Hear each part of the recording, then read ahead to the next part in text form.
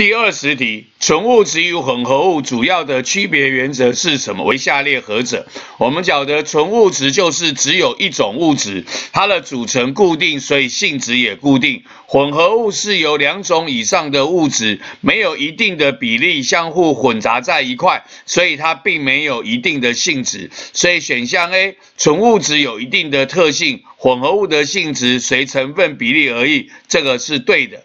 选项 B，纯物质为无色或白色。混合物的颜色则不一定，纯物质不一定是无色或白色，有水硫酸铜是蓝色的，可是它是纯物质，所以选项 B 呢是错的。C 纯物质的组成均匀，混合物则不均匀。纯物质组成均匀大概可以算对，但是容易是均匀的混合物，它的组成是均匀的，所以混合物则不均匀是错的。